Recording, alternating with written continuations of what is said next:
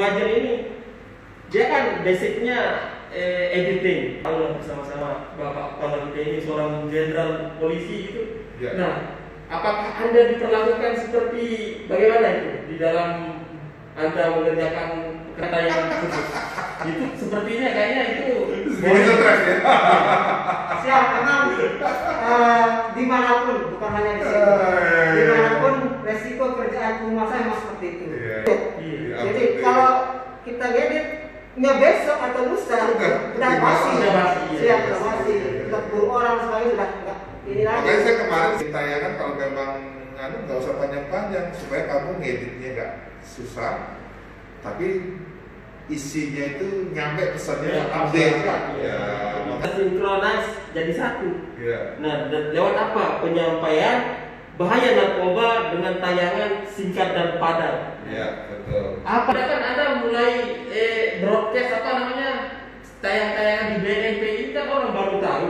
Ya. Dan tentunya Anda juga baru mulai.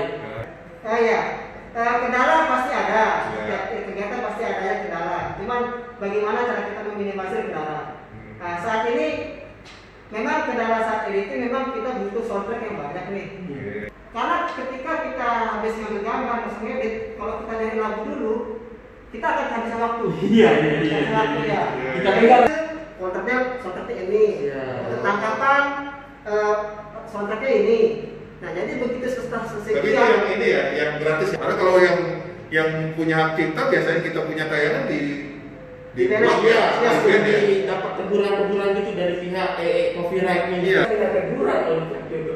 Iya, Jadi iya. Anda benar-benar harus teliti mencari Iya, soundtrack. iya, soundtracknya. Dan Soundtracknya dan pertrack pertracknya itu benar-benar harus ditelitikan. harus sesuai dengan eh, penangkapan. Otomatis lagunya harus yang tegang. Iya, iya. Kalau lagunya presentasi ya nggak nyambung. Ngevlog kita beda lagi. Luar biasa. Nah, supaya Anda tahu bagaimana sebenarnya cara kami memberikan Anda informasi tentang bahaya narkoba dengan demikian tadi. Itu hanya ya untuk masyarakat semata. Iya. Jadi supaya tidak bosan-bosannya kami di sini yang dari awalnya nol bagaimana bisa diceritakan mungkin?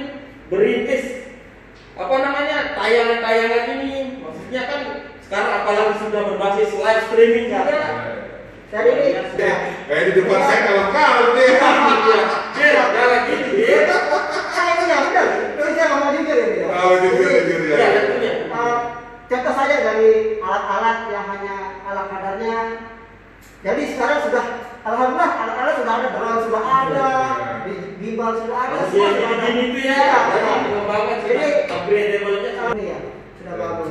alat sudah mumpuni, jadi Dan itu memang ekstrim aja bertindak sebagaimana mestinya. dan memang sudah diakui saya punya teman yang bilang, wah humas hebat juga. Apa? BNP NTB hebat juga tim tim apa? Tim humasnya di, di, disampaikan ke dia itu. Yang orang-orang yang berada, di belakang saya bisa dilihat di behind the scene-nya mungkin di story-nya IG kadang-kadang saya muncul itu sebenarnya itu mengandung makna supaya orang tahu di balik layar ini orang-orang yang apa berada di balik layar keberhasilan. Nah, bersama. itu. Makanya kenapa saya sering kalau lagi anu saya iseng munculkan itu sebenarnya ingin menunjukkan inilah tim kita yang berada di balik layar kan nggak mungkin kamu yang videoin kamu yang edit kamu muncul muncul ke Ya. sana Ya, ya, ya. itu itu itu kalau kalau bahasanya PR kita tuh harus untuk rekaman bisa atau bisa live streaming bagusnya yang mana tentang humas kita apa streaming bisa pakai ini ini belum bisa pakai ini ya Bisa ya. jadi koneknya ke mana nih Nanti kita ada jadi Nah. yang audio namanya Ya. yang audio bisa di share. iya maksudnya colokannya ada di sini Ada ada kita. disediakan. oh di sini